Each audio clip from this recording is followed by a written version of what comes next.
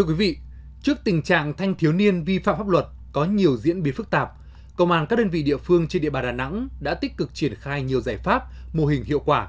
Sau đây là ghi nhận của phóng viên truyền hình An ninh Đà Nẵng.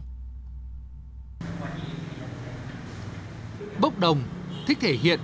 thiếu hiểu biết, thiếu sự quan tâm từ phía gia đình, bị ảnh hưởng bởi môi trường mạng Internet là những nguyên nhân dẫn đến tình trạng thanh thiếu niên vi phạm pháp luật đang có chiều hướng gia tăng hiện nay. Để kiểm soát tốt tình hình vi phạm pháp luật ở thanh thiếu niên, giúp các em phấn đấu sống tích cực, có ích cho xã hội, Công an huyện Hòa Vang đã triển khai nhiều giải pháp sáng tạo hiệu quả. Để kéo giảm ờ, tình hình ờ, người chưa thành niên vi phạm pháp luật trên địa bàn huyện, thì ờ, công an huyện Hòa Vang đã phối hợp với các ban ngành đoàn thể, nhà trường đã tổ chức nhiều buổi tuyên truyền tại à, nhà trường tại địa phương. Đồng thời là tổ chức nhiều buổi đối thoại với các em có nguy cơ vi phạm pháp luật và đã vi phạm pháp luật cùng gia đình để các em nhận thức pháp luật được nâng cao. Qua các buổi tuyên truyền gặp mặt đối thoại, ngoài mục đích phổ biến pháp luật thì đây cũng là dịp để các em nói lên những tâm tư, nguyện vọng và khó khăn vướng mắc gặp phải trong cuộc sống.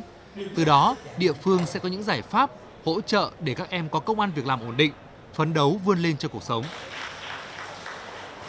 Thời gian qua con có tụ tập chờ đi chơi đêm và đua đùa. Hôm nay có công an hiện mời lên con thấy rất ờ, bổ ích và con hứa sau này sẽ không đi chơi và có một công việc ờ, ổn định. Nhìn những hình ảnh của anh thợ làm bánh chuyên nghiệp này, ít ai nghĩ đến em đã từng là một thanh niên có quá khứ bất hảo.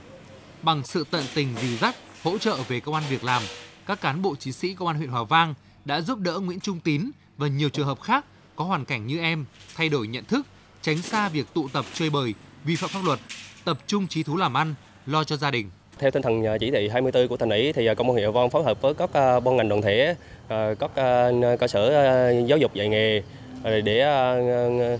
hướng dẫn các em có nguy cơ vi phạm pháp luật và vi phạm pháp luật có đặt gia đình hoặc hoàn cảnh khó khăn, nghèo đến học nghề,